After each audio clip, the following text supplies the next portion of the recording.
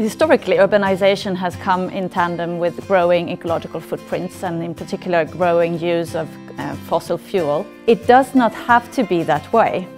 Uh, so I'd say the problem today with urbanization is that we are not really tapping the potential of building uh, cities that radically, radically, reduce our carbon footprint while improving well-being. People can still have a better uh, quality of life with cities that are greener, which allows more physical exercise like biking and, you know, just not having to uh, drag uh, one ton of steel with you every time you're going somewhere. That's just be able to, to use smart collective transport. All the new uh, urban area needs to be constructed with the best available te technology and using best uh, practice urban planning.